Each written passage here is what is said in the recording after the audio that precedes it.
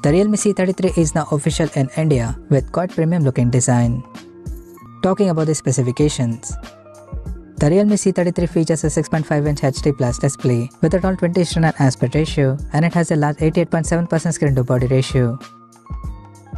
The phone is powered by Unisoc T612 chipset, paired with Mali G57 GPU. In terms of storage, the smartphone packs with 3 or 4GB of LPDDR4X RAM and 32 or 64GB of UFS 2.2 storage that is further expandable up to 1TB for a dedicated microSD card slot. As per the optics, the Realme C33 supports a vertically aligned dual camera setup at the top left corner that includes a 50 megapixel main camera with f1.8 aperture along with the 0.3 megapixel secondary lens with f2.8 aperture. For selfies, it has 5 megapixel camera under the water drop notch at the top center with f2.2 aperture. On the software front, the handset runs on Android 12 out of the box with Realme OS Edition skin on top and it is backed by a massive 5000 mAh battery with 10 watt charging support. Additionally, the smartphone also features a side-mounted fingerprint sensor for biometric authentication.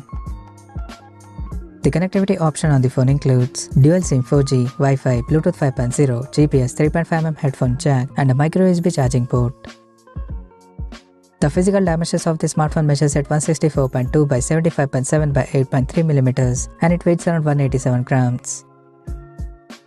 Now talking about the pricing and availability details. The Realme C33 has been priced in India for 3GB plus 32GB storage variant at 8999 Indian rupees while the 4GB plus 64GB storage option is priced at 9999 Indian rupees. The smartphone is now available for purchase in the country in aqua blue, night sea and sandy gold color options.